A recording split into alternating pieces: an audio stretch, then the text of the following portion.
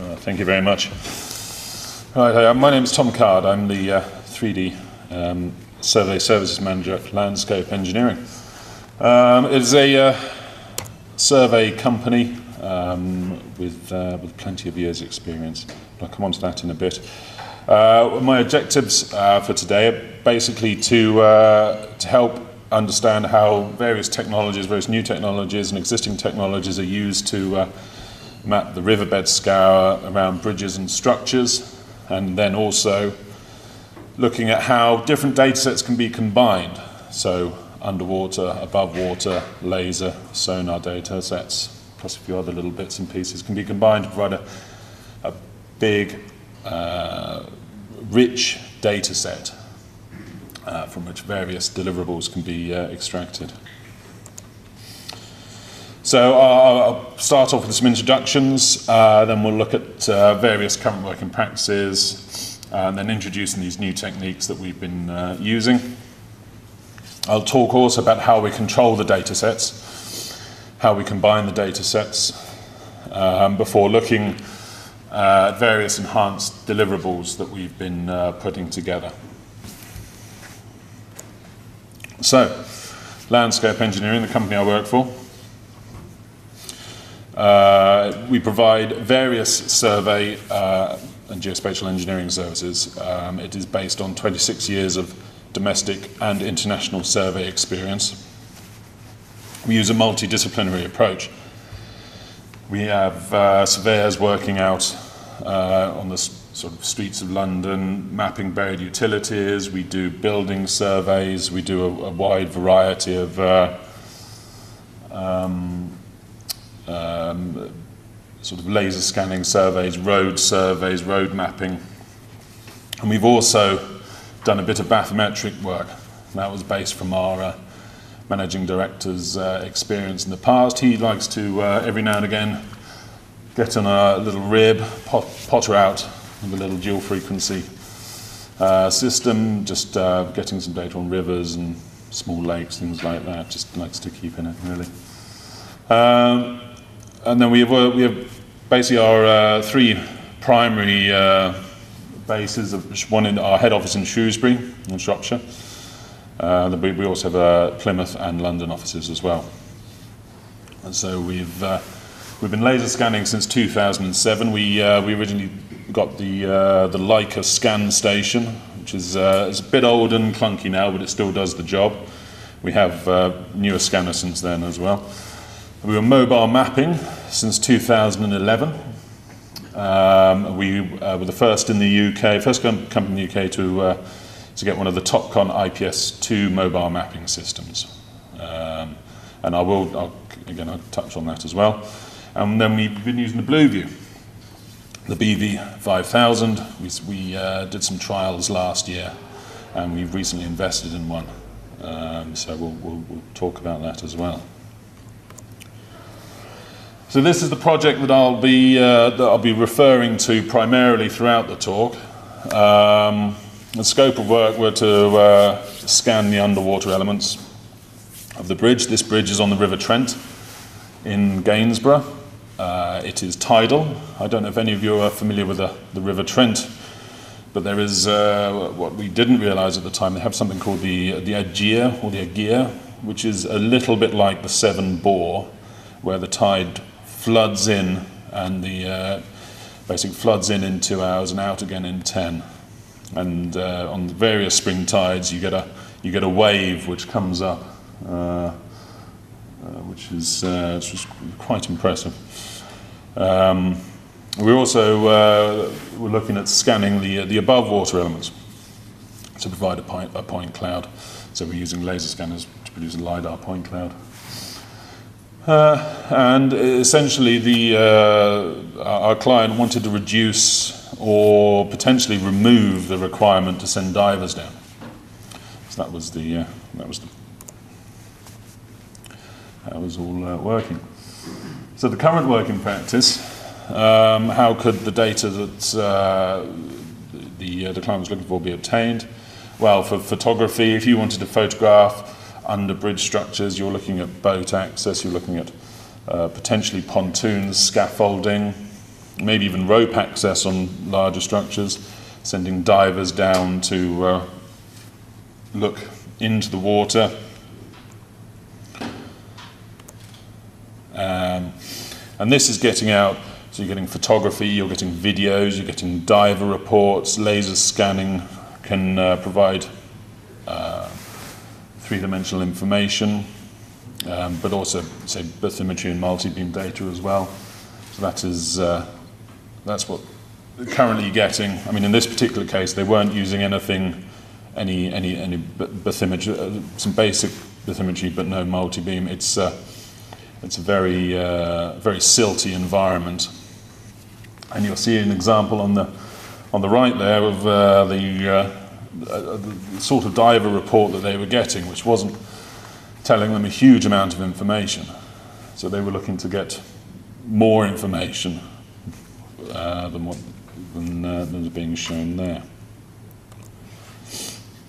So let me show you the the, uh, the technologies that we used during uh, during this particular project, the BV 5000. There it is, um, and that's uh, you see our rib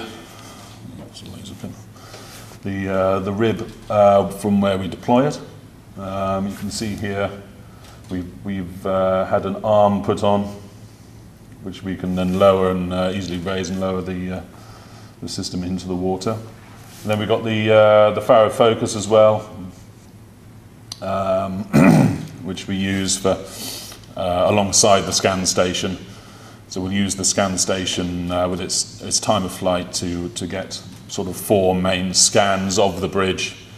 Um, you get a much better resolution on the sort of the dark and the wet surfaces that the, uh, the Faro won't necessarily pick up. And then we use the Faro, which is much faster, to then fill in any gaps, perhaps over the top of the bridge, or if you can get right underneath one of the, uh, the arches, get, uh, put, a, put a scan under there.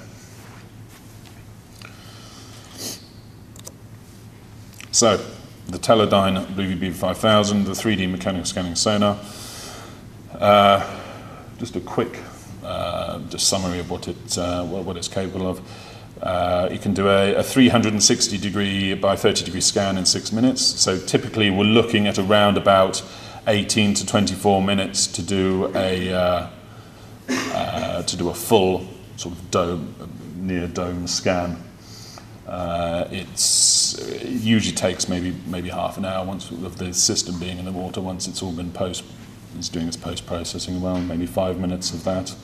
So so pretty quick really to get a to get a uh, uh, one of these uh, one of these positions here. Um, it's compact it's portable. It comes in a lovely little uh, pelican case um, easily liftable by one person very quick setup. You can, uh, you can instantly check the data once it's come through, and you can also see it coming through in 2D as well. And you get a very a standard uh, .xyz output from, from the system. So nice, nice straightforward. Okay, so acquiring the BlueView data. We, uh, what are we going to do? We, a uh, couple of options available to us here. We could lower it from the bridge or the structure, um, or we could lower it from our custom side rib. We, we originally did look at lowering it from the bridge, as you can see here. Um, we, we had a go. It wasn't quite as straightforward as we, uh, we anticipated. As you might be able to see here, there is a reasonable flow. So as soon as the, uh, yeah, as soon as the, uh, the tripod hit the water, they were sort of off on the off on the uh, sort of dragged with the uh, with the flow.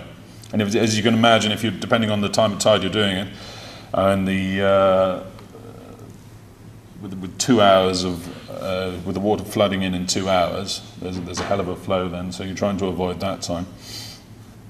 And the amount of time when the water is actually still is uh, five minutes, maybe if that, before it starts moving the other way again. So uh, not, not really an option lowering it from the bridge.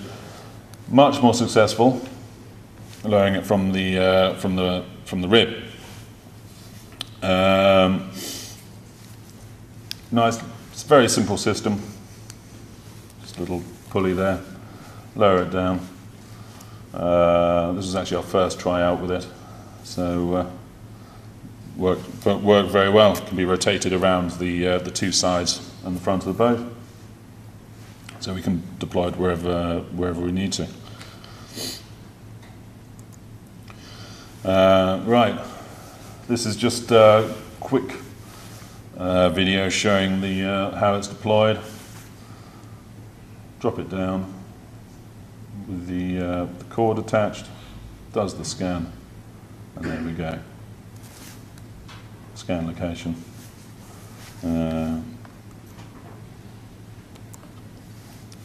Okay, so the data. This is how we, uh, we treat the, we initially treat the data. So as, as, I've said, we, we lower the system into the water, we acquire the data. And then uh, the resultant XYZ point cloud we then, uh, we then bring it into Leica Cyclone, um, whereby we can then do a variety of things, uh, clean it, remove the noise. Uh, we, we also register and level the data as well, which I'll, I'll talk about in the next couple of slides. Uh, and then also register it to the laser data from the, uh, the above water survey. So the LiDAR data from the laser scanner, uh, again, we utilize the Faro Focus 3D. Uh, in this case, we, also, we also did the, uh, uh, the Leica scan station as well. Five primary scans were acquired uh, around the, uh, the actual structure of the bridge. And then we did, I think, another 11 or 12 over the top and just to provide a complete picture for the client. Um, we referenced it to Ordnance Survey. we removed the scale factor um, so work in a nice scale factor one environment. Um, we then, that data was then again brought into site a Cyclone for again cleaning and merging with the uh, sonar data. So, registering the, uh, the BlueView data, uh, we're going to level it. This is, I suppose, typically how it would come in straight from the uh, uh, straight from the system. I mean, we're not. Uh, it's a, that, that is that is a 3D, but imagine a side view. So what we're looking at here, we've got a couple of uh, bridge piers here and here. Um, this you see a little uh, XYZ coordinate vertex there. That's where the actual scan took place. And essentially, there's the riverbed there. So the chances of you actually dropping the, uh, the system onto the riverbed perfectly level are fairly remote. Um, so the first uh, thing we have to do is we have to level it. Um, we've uh, when, the, when, this particular one, this this noise you see here, there was the the, wa the water was very silty, but uh, so we sort of went through a bit of a cleaning stage. So we had a, from our knowledge of working with laser scanning and mobile mapping point clouds, we were able to uh, put, put, that, uh, put that knowledge to, uh, to fixing this data. So there's a couple of options, we, routes we can go down.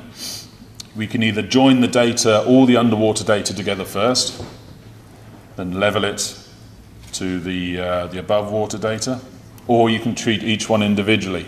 It depends on the, uh, the amount of overlap that you've got, what your uh, common structures you have. What we have here, we've uh, uh we created were uh, a couple of reference spheres. So these can be dropped onto the, the riverbed um, and they act as common reference points between scans. So that helps us join scans together from, uh, from underwater.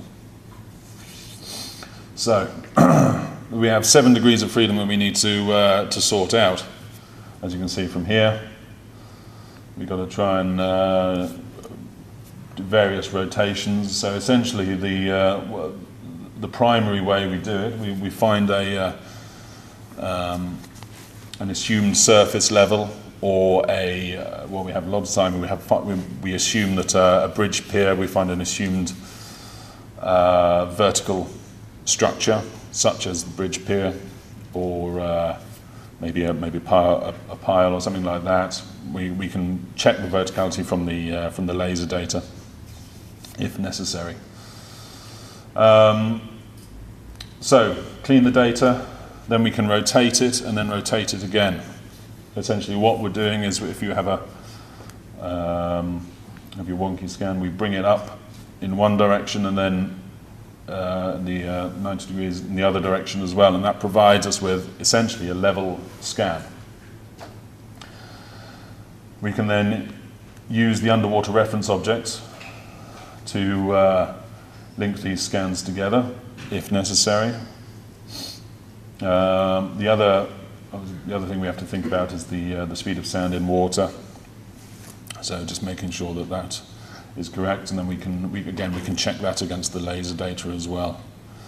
Um, we, do, we, do, we do the calculations beforehand, put it into the software, but, and then we can just double check everything all the way through, making sure that we're getting the most accurate data that we possibly can. So we have our leveled um, underwater sonar data we need to bring that to the, the top side somehow. Again, there's a, there's a couple of options for this. We need to, uh, firstly, we could use tides. Brilliant. Laser scan the structure at low tide. Uh, stick the, the BV5000 in the water at high tide, overlapping data. So, very good. That was our original plan for this project. However, given the tides, it didn't quite work out that way. So we ended up having to work, rather than the spring tide, we ended up working on the neap tide. Whereas this part, the actual the variation in the tides went from being, say, three meters on a spring to, uh, well, it was about, I'd say, probably less than half a meter um, tidal range on a neap tide. Okay, so we can use tides potentially. Common reference objects for the next one. So we have the bridge pier. We have um, uh, the bridge pier we've used so far. We've been fortunate enough to, uh, to have uh, various corners, various structures that we can say, yes, these are common reference points. This point in the sonar data equals this point in the uh, scan data. So we're using straight edges and alignments. And then as a, uh, um, a final uh, system we can deploy, we, uh, we have a, a bioreference pole system, which is something we've, we've made up. Essentially, it's made of a, a three meter vertical, well, three meter straight um, polyethylene tube. And the top and the bottom there are reference objects, reference spheres. This can then be put, put into the water, uh, both above, so it sits both above and below the waterline. And then when, uh, so this is if, you, if there aren't any tides, for example. Um, so what, what we have there is if we can get it vertical, then that's all the better. Uh, but it's not often possible to get perfectly vertical. However, we have the tube, so what we have is we have uh, basically a reference object at the top, which we captured with a laser scanner. Uh, we have um, the, the orientation and direction of the tube, so we can, we can use Leica Cyclone to essentially create a model of that tube and then extend that down. We know the length of the tube, so then we have the position of the reference object in the water, which the BV5000 is picking up. So we can use that as well in uh, non-tidal areas. And then we also, uh, with these bridge surveys, just a very small area, we, we um, stick the uh, little single beam in, do a couple of transects upstream and down of the bridge, and it just provides a bit of verification on, the, uh, on our registration and joining of the data. So what we have end up with is the laser data here, that's the archway, this is the bridge pier, and then the uh, underwater data here, the BV5000 data here.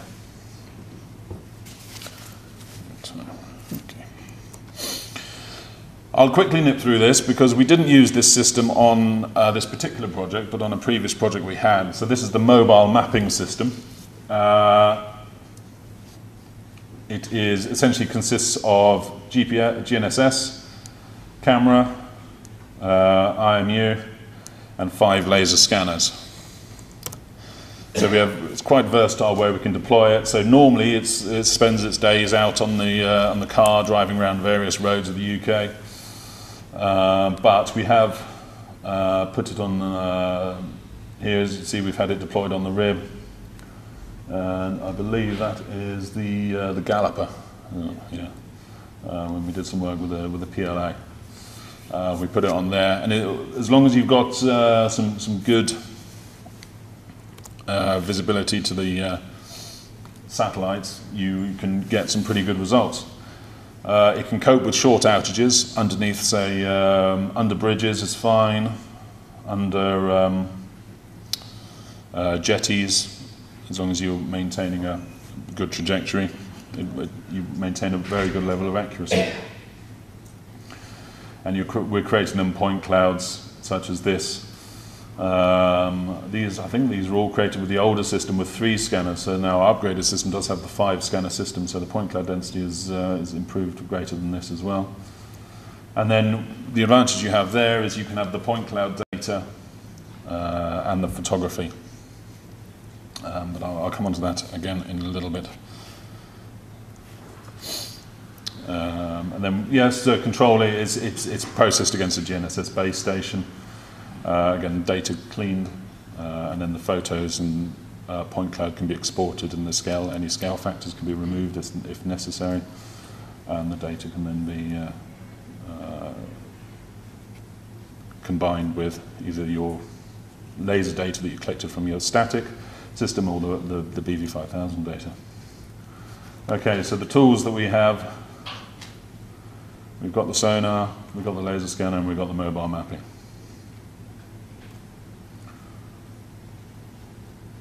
Okay, so we'll look now at some various uh, deliverables that we've been presenting to, uh, to our clients. So we have the laser data here. We can then bring in the uh, BV5000 data.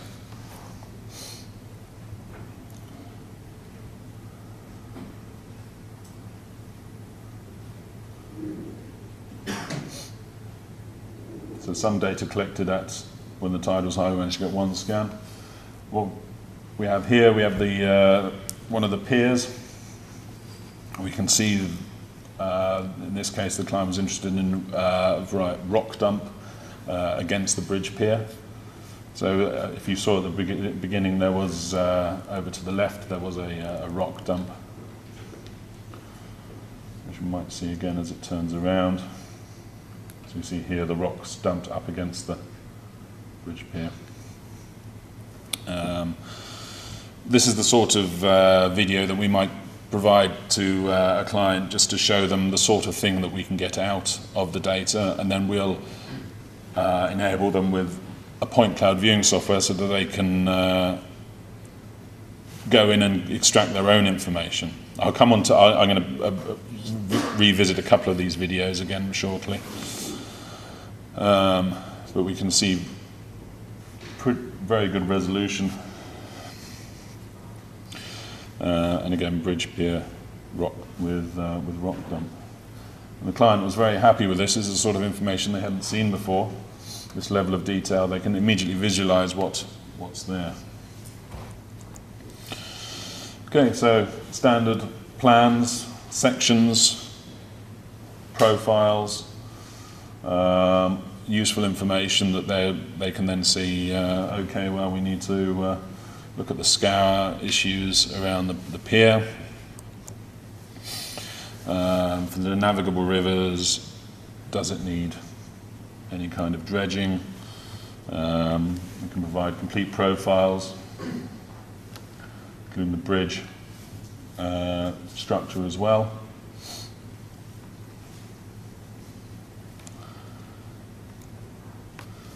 Um, the, the, amount of detail that we're able to get out is incredibly impressive. So we've got this, this little outfall pipe looking under a riverbank here. This is a, this is a riverbank And we can see where it's been undercut, maybe some wooden slats here.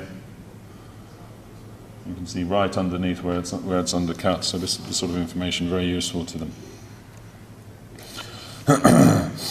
uh, again, this one, uh, this is from an earlier project, not the Gainsborough one, but we can see the tree here, or branches struck, uh, stuck on the bridge pier, something they might one time took issue with.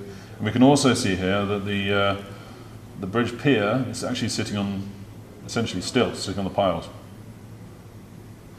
uh, which they weren't aware of they, they, they didn't, uh, didn't, didn't realise at all that, that, that, that was uh, that situation was there.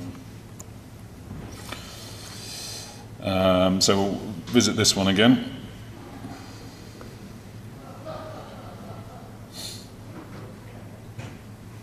Uh, so we saw this one earlier, but we'll just look at it again in a bit more detail so we can see these structures. This is the bridge pier.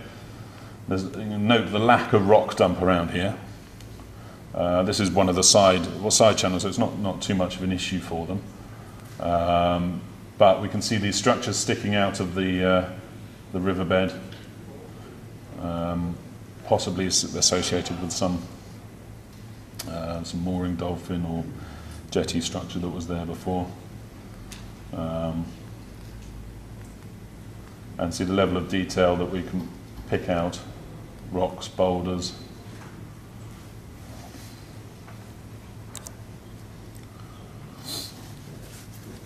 Uh, so this is the rock, rock dump. Again, we can do rock dump analysis. We'll work out potentially if they have a, uh, an idea of where the, uh, the bed should be. We can potentially give them volumes of uh, rock that's uh, been put down there.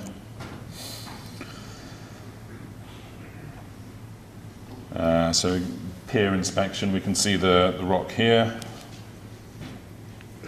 We can then look in and look, look in careful detail along the pier itself, look for signs of damage, look for signs of uh, uh, wear and tear.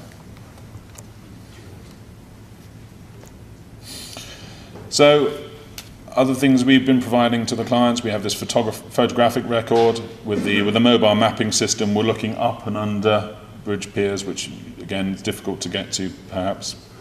Uh, but the added advantage of that, of course, is that you have the, uh, the laser scanning data in as well. So if you wanted to start creating asset inventories, you can say, well, um, we can immediately jump in and look at the photography and get 3D information from the photography. We start modeling, start um, creating uh, a database. Uh, so here, yeah, so for example, uh, asset inventory, if uh, clients know where mooring rings are along, we can start building up a GIS system. Okay. So that's the end of the, uh, sort of the deliverables. But as you can see, there's, there's a huge range of uh, potential uh, deliverables that we can provide to clients. Um, what we're doing here is we're, we're complementing, uh, not necessarily replacing the, sort of a dive, standard diving report. So can work both ways. We might send the, the BV5000 in first, scan, well this area we might want to put a diver in just to have a look, or a diver would be in, and said, well, something's going on here, we're not sure. Uh, so we can uh, then send the, the BV5000 in and scan it in more detail. So there's, there's clearly there's health and safety benefits from that. We're using a multidiscipline approach, so laser scanning, mobile mapping, uh, underwater sonar, getting a uh, very enriched data sets uh, and that has helped us provide clients with uh, some, some enhanced deliverables that they, they weren't usually uh, uh getting.